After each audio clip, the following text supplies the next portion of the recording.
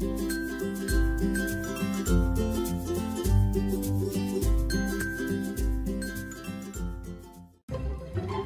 guys, it's Courtney here and I have uh, had a kit arrive today and it's one that I'm very excited about because this kit is for me. Uh, I had this kit before and I think I even did a video of her but um, I sold her, sold the kit on uh, at the time but I knew that I was going to be making this kit for me at some point um, she looks just like my brother and I when we were babies, and so I just knew she was meant to be a part of my little family. So I'm very excited to work on her.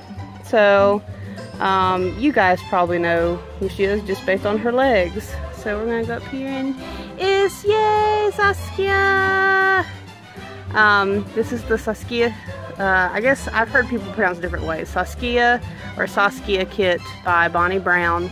Your little outfit is so cute. And she's so cute. She's so, so cute.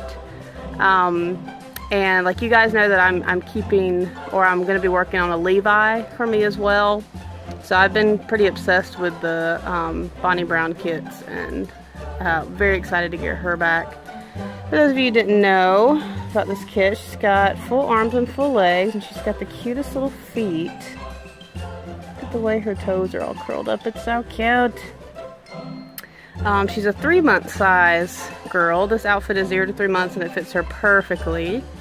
And see, she's got full arms and she's just the cutest little thing. She really is. Um, is she gonna be a boy or girl? At this point, I'm planning on her to be a girl, but if she turns into a boy along the way, that's perfectly okay too. Because uh, I love this kit as both. And um, I just put some, she's got some glass eyes in right now. I actually really like the color. I was thinking between this and a lighter blue, but I really like this um, like newborn, newborn gray blue color. It really suits her. Uh, so anyway guys, this, um, I probably won't get around to reborning her until uh, maybe midsummer. But I'm just very excited that she's here and um, I can't wait to start working on her then. Hope you guys enjoyed this video.